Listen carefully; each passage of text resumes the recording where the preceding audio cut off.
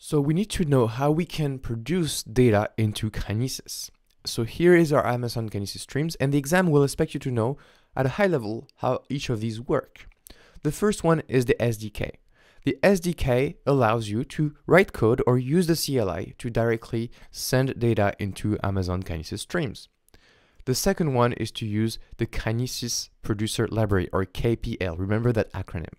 The Kinesis Producer Library is going to be a bit more advanced. You're going to write better code and it has some really good features that I will describe in this lecture, which allow you to get enhanced throughput into Kinesis streams. The third one is to use a Kinesis agent. So the Kinesis agent is a Linux program that runs on your server. So remember that it's an agent that runs on servers and basically allows you to get a log file, for example, and send that reliably into the Amazon Kinesis streams.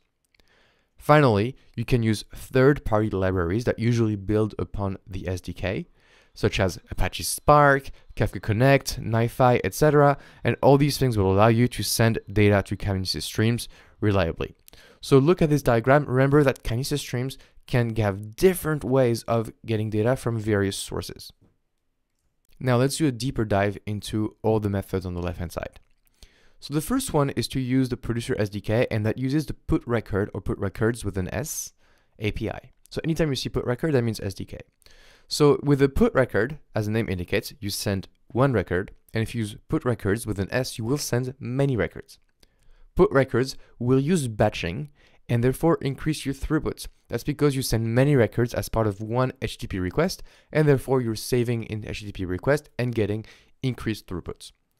Now, if you do go over your throughput though, you will get a provision throughput exception exceeded, and that's important to know how to deal with this. We'll see this in the very next slide. Now, this producer SDK can be used on various different ways. You can use it on your on your applications, but also on your mobile devices, such as Android, iOS, etc. So when would we choose to use the producer SDK? Well, anytime we have some low throughput use case, or we don't mind a higher latency, we want a very simple API, or maybe we're just working straight from AWS Lambda. This is the kind of places where you would use the producer SDK. You need to know as well that there are some managed AWS sources for Kinesis data streams. So they, behind the scenes, use a producer SDK, but you don't see it. And so these managed sources are going to be CloudWatch logs, so you can send your logs directly from CloudWatch into Kinesis. You have AWS IoT, and we'll see this in this section. And finally, Kinesis Data Analytics is able to produce back into Kinesis data streams. So remember that. Now, how do we deal with exceptions for the Kinesis API? Well, if you get a provisioned throughput exception, that happens when you are sending more data than you can. For example, you're exceeding the number of megabytes per second, or you're exceeding the number of records per second you can send to any shard. So you need to make sure when you get this that you don't have a hot shard. For example, if you have um, device ID as your key and you have 90% of your devices being iPhones, then you're going to get a hot key, a hot partition, because all your devices are iPhones and they will all go to the same partition. So make sure you distribute as much as possible your key that you choose to in order not to get a hot partition.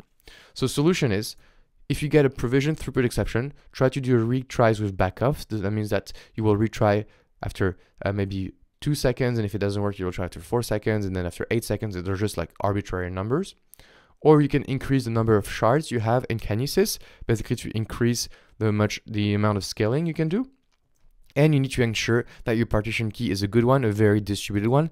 So for example, for the mobile device, um, instead of choosing Apple versus Android, you would choose maybe the device ID, which for sure is going to be different for each of your users. Just an example. So now let's talk about the Kinesis Producer Library or KPL. You need to learn exactly how this works because this is very important going into the exam. It's an easy to use and highly configurable C++ or Java library. And personal experience, I've seen Java being used more when you use the KPL. It's used when you want to build high performance, long running producers.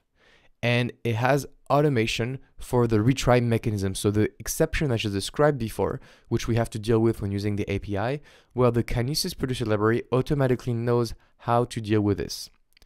Now, Kinesis producer library has two kind of APIs.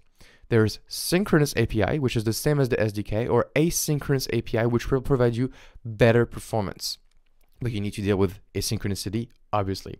So every time in the exam you see, okay, we need to send data asynchronously to Kinesis data streams, usually the, uh, the Kinesis producer library or KPL will be the way to do it. It's a really nice library because it also is able to send metrics to CloudWatch for monitoring. So anytime you write an application with a KPL, you can monitor it directly in CloudWatch. And it supports a very important mechanism called batching. And batching has two subsections and they're both turned on by default and they will help you increase the throughput and decrease the cost. You need to know those absolutely. The first one is to collect records and write to multiple shards in the same put records API call. And the second one is to aggregate, which increase the latency but increase the efficiencies as well. So it's the capability to store multiple records in one record and you're able to go over the 1000 records per limit with this. I'll describe these to you in the very next slide anyway and that will allow you to increase the payload size and therefore increase throughput. So you can reach that one megabyte per second limit more consistently.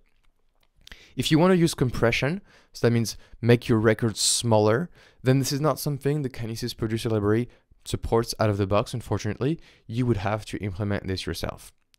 When we do send a record with the Kinesis producer library though, it's a very special record and you cannot just read it using the CLI. For this, you would need to use the KCL, or a special helper library, and we'll see the KCL in the next lecture. So let's talk about this batching because this is such an important concept to understand in Kinesis Producer Library and something the exam will ask you about.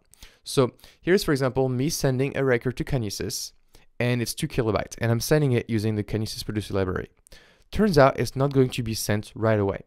It's going to wait a little bit of time to see if more records are coming in. And maybe I'm sending a next record of 40 kilobytes maybe I'm sending a next record of 500 kilobytes. And what Kinesis Producer Library will do is that at some point it will say, wait a minute, I can aggregate all these records into one record. So instead of sending three records, now we're sending one record, and that record is still less than one megabyte. And so we're going to do this in multiple times. So maybe we're going to have 1, 30, 80, and 200 kilobyte again, and it's going to aggregate that one as well into one record. So now we have two records. So we've seen what aggregation is. And then it's going to say, wait a minute, now we have to send two big records, but we're not going to use two put record API, we're going to use one of them and we'll do collection. So we'll use the put records API. So here you see, I wanted to send seven records to Kinesis and I end up doing only one API call because we have aggregation and collection. And so how does Kinesis know how long to wait to batch these records? So you can control it using this record max buffer time, which defaults to 100 milliseconds.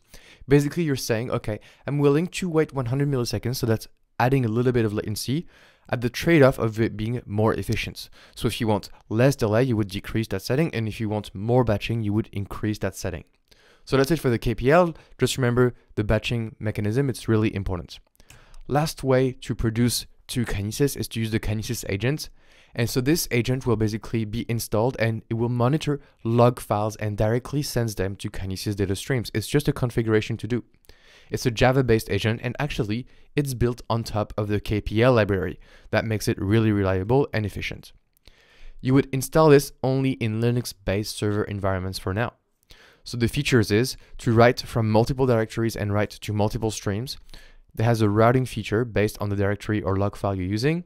And it can even pre-process the data before sending it to Kinesis data streams. It can do single line divisions, it can do CSV to JSON, log to JSON, and on top of it, the Kinesis agent is really well written, so it will handle anything like file, uh, log file rotation, checkpointing, and retry upon failures. And because it uses the KPL library, then it will emit log, uh, metrics to CloudWatch for monitoring. So anytime you need to do aggregation of logs in mass um, in almost real time, then the Kinesis agent is the way to go. All right, so we've seen all the ways to produce into Kinesis. I know that's a lot, uh, but remember, at a high level, you need to understand how they work, and I hope I've achieved just that. I will see you in the next lecture.